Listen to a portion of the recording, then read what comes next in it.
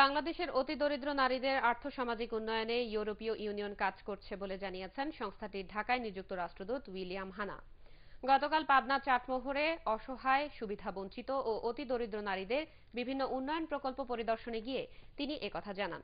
এই সময় তার সাথে ছিলেন মিসেস হানা, ইউরোপীয় ইউনিয়নের খাদ্য নিরাপত্তা বিষয়ক উপদেষ্টা মঞ্জুরুল আলম এবং স্থানীয় সরকার ও প্রকৌশল অধিদপ্তরের নির্বাহী প্রকৌশলী আব্দুল কাদের।